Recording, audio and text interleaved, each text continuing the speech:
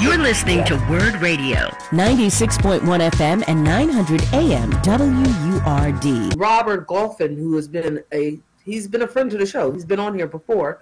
But um, you know what I love about him is coming from Philadelphia and seeing him on stage, seeing him in these movies, and that is one of the things that amazes me about you, Robert, is that you haven't stopped. You're still doing your thing. We also have Shawn Passwaters, who's joining us today, and he worked with Robert when he first started out early in the days. But I want to ask you a question, though, Robert. Uh, yes. I saw in your bio where you have appeared on The Wire. What where, where was you at on The Wire? Because I watched I was, The Wire religiously.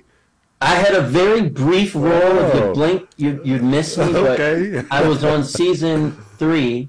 Uh, I played a crackhead who was trying to sell Bubbles a, a, a toaster. Okay.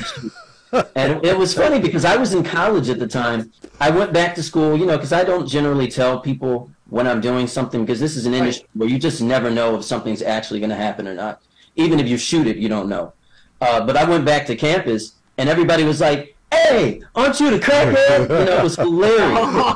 but, uh, that was great for me. I felt accomplished that I, I actually set out to play this role and that I did it successfully. Mm-hmm. And then, of course, I had other actors who were starring on the show right. came up to me on mm-hmm. set and they were like, "You play a mean crackhead." So I, you know, they had the writer strike first, and then they had the actor strike. Did you guys see a lot of people, um, celebrities, that was elbow to elbow in this strike?